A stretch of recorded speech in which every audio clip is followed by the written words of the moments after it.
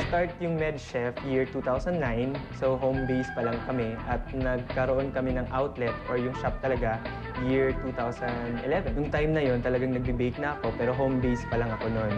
So yun, bigla pumasok na to si Jason na churchmate ko na isang medtech. So yun, parang since medtech siya, ako naman chef, so why don't parang med chef yung pangalan. So kaya nabuo yung med chef. Ito po, papakita ko po paano i-blow torch or natawag natin ito torch or caramelize natin yung sugar ng aming uh, bread pudding creme brulee at isa ito sa mga signature dessert po namin.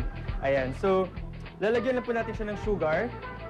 So ginagawa po namin to on the spot pag nasa ano po, pag nasa bazaar. Ayan, so like the usual uh, creme brulee, no?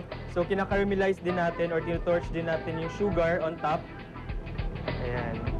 So maganda nito, yung combination po na something soft yung inside pero may pagka-crunchy yung toppings niya. So maganda po yung combination nito. Okay, so ito na po yung bread pudding creme brulee ng Medchef. Yung home base pa lang po kami dati, um, talagang yung area kasi namin, hindi naman talaga siya yung commercial, di ba? So, siya yung tipong papasok talaga. So, maraming mga tricycle, maraming mga bahay.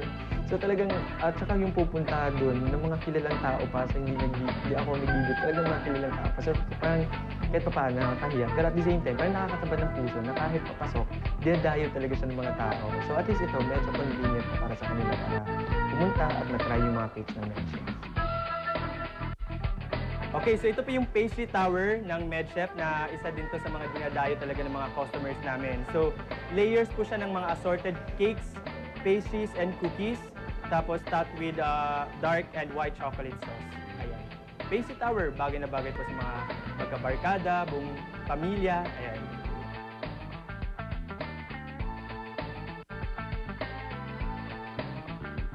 At the same time, nagtuturo nga din po ako sa isang, ah, yung sa Culinary Institute of Cagayan de Oro. So, isa po ako sa mga endorser at ah, chef instructor doon. Um, ayun, ah, basta constant communication lang, no? Kung mga, mga yung mga staff ko naman, um, lagi naman nilang, kumbaga, kinokontak ako pag may mga tanong sila, especially yung mga baker ko. So, syempre, pag hindi sila familiar sa isang order, so, kinoconsult muna ako kung ito ba'y pwedeng ganito, pwede bang gawin, pwede bang haluan ng ganitong ingredient, ayan. So, lahat naman sila nagtatanong sa akin, tapos, when it comes to operation naman, nandyan naman yung business partner ko si Jason Carlos, kaya hindi pwedeng pareho kami nawala.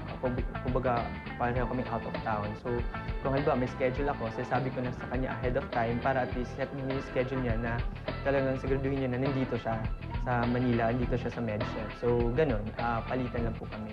Hindi naman kasi maiwasan pagdating sa isang negosyo, lalo na pag may business partner ka po, yung talagang, alam mo yun, ah, nagtatalo din ito. Nagtatalo din kayo pagdating sa pera, pagdating sa trabaho, kasi syempre, siguro minsan nagkikwentahan kayo na, uy, ba, masyadong maraming trabaho ko, pero hindi ito yung nagagawa mo, ganun. Pero, siguro yun, pero ang pinaka, ang, kumbaga, pinanghawakan lang namin yung time na yun, iniisip na lang po namin yung kung paano kami nag-umpisa. So, kumbaga, hayaan na lang po ba namin na masasayang na lang ito, na parang mapunta na lang sa wala yung pinaghirapan namin. So, yun talaga yung pinag-isipan namin. So, kumbaga, pag nagtatalo man kami after ilang oras o ilang minuto, talagang sisigurado namin na maayos, maayos din namin kung ano man yung naging problema namin. At um, sa staff din, syempre, kasi ah, hindi nyo lang po na itatanong, yung mga, lahat ng mga staff namin, hindi po sila yung mga culinary school graduate, hindi po sila nakapag-aral, may iba pa nga po no read, no write, pero talagang um, pinagtsagaan ko po silang turuan talaga at train. At naniniwala kasi ako na talagang um, balang araw na magiging successful na ano din sila, na chef din siguro tulad ko. Isa kasi yung sa mga advocacy ko na parang tulungan naman itong yung mga taong ganito na uh, porket hindi sila nakapag-aral, yun, parang hanggang doon na lang talaga sila. Target po talaga namin kasi more on bazaars lang po kami. Naging uso yung mga night market, ayan. So, more on ganun lang kami na halos lahat ng mga night markets, meron kami, mga bazaars. Pero ang target namin this year, na magkakaroon na kami ng mga kiosk doon sa mga shopping malls naman. Ang concept ko naman ito, lahat ng mga, alam mo yung mga plated or mga specialty desserts na makikita lang sa mga hotels, mga fine dining restaurants. Ngayon, ang ginawa ko, kumbaga sa restaurants or sa mga hotels na ba talaga makita to, bakit hindi natin pwedeng gawin na pwede rin ibenta sa market at pwede rin bilhin ng mga ordinaryong tao isa din po talaga sa plano ko this year, um, yung talaga to promote uh, local products pa talaga. So, kasi mahilig akong gumamit ng mga native uh, ingredients, no?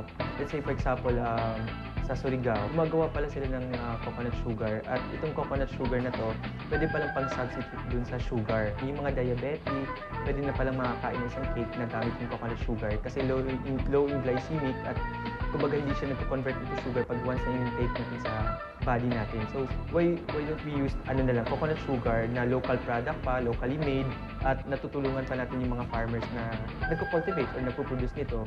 Unang-una, lagi mo i-consult kay God lahat ng mga plano mo sa buhay. Siyempre, lagi mo isalang-alang yung family mo at hindi po hadlang yung kahirapan para makamtan mo yung ambisyon mo sa buhay, no? Um, kailangan talaga focus ka po sa kung anong gusto mo mangyari sa buhay mo at kung ano yung passion mo talagang dapat sundin mo lang ito. At sa mga youth na tulad ko, dapat ganun din po yung gagawin nila para maging successful din po sila sa buhay. Ayan, so in-invite ko po sila lahat dito sa MedChef Homemade Cakes, Pastries, and Desserts. Let's go, negosyo!